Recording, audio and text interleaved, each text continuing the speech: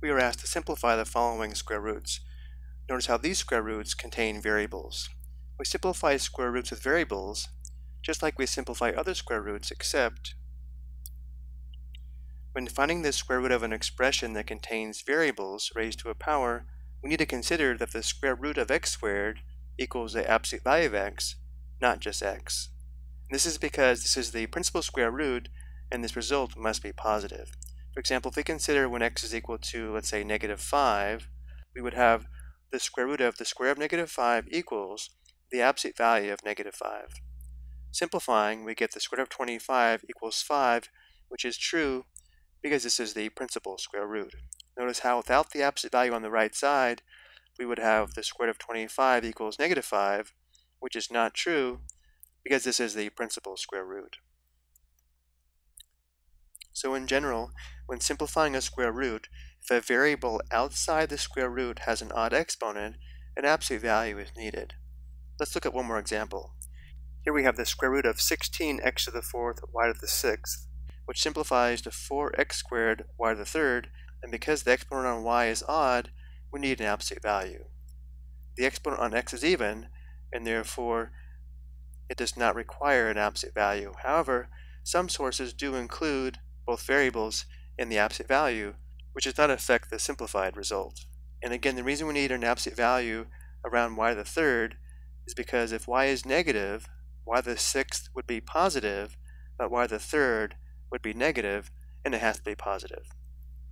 Let's look at our examples. Here we have the square root of 36x to the sixth. 36 is a perfect square because it's equal to 6 times 6. So let's write this as the square root of 6 times 6.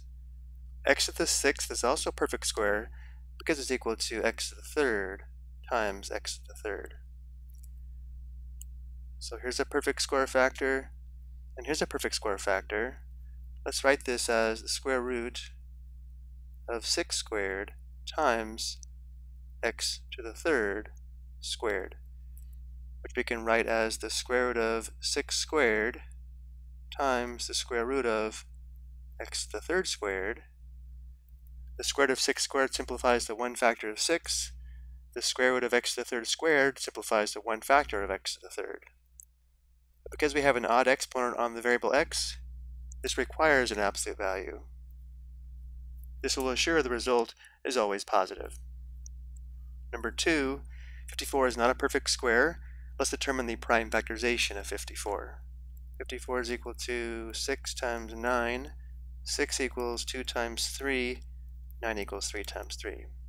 So we have the square root of 2 times 3 times 3 times 3. x to the fourth is a perfect square because it's equal to x squared times x squared. y to the seventh is not a perfect square, but it does contain a perfect square factor, because y to the seventh can be written as y to the third times y to the third. So this product gives us the perfect square factor of y to the sixth, and we still have one factor of y.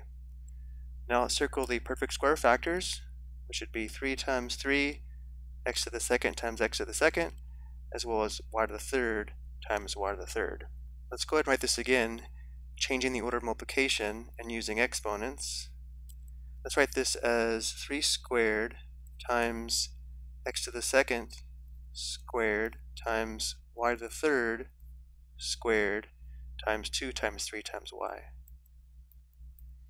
And now we'll write this as a product of 1, 2, 3, 4 different square roots. This is equal to the square root of 3 squared times the square root of x to the second squared times the square root of y to the third squared times the square root of 2 times 3 times y. Simplifying, here we get one factor of 3, here we get one factor of x squared, here we get one factor of y cubed, and then we still have times the square root of 6y. The exponent on y is odd, and therefore this requires an absolute value. After doing this a while, we can probably go from this step here to the simplified square root, but for these three examples, I do want to show detailed steps. For the last example, we'll begin by determining the prime factorization of 192. 192 is equal to 2 times 96. 96 is equal to 2 times 48. 48 is equal to 6 times 8. 6 equals 2 times 3. 8 equals 2 times 4. 4 equals 2 times 2. So we have 1, 2, 3, 4, 5, 6 factors of 2 and a factor of 3. x squared is a perfect square because it's equal to x times x.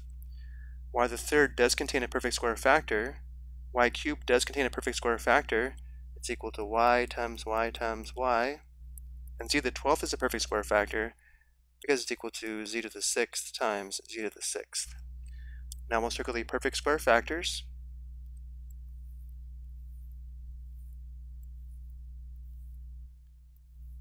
This example, let's skip the extra steps and go straight to the simplified square root. Everything we have circled represents a perfect square factor and will simplify to one of the two equal factors. So the square root of 2 times 2 simplifies to one factor of 2 here, here, and here. The square root of x times x simplifies to one factor of x.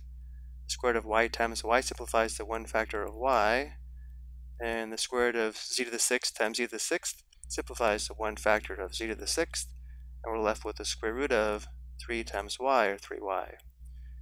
Simplifying one last time, 2 times 2 times 2 is 8, and therefore this simplifies to 8 x, y, z to the 6th times the square root of 3y.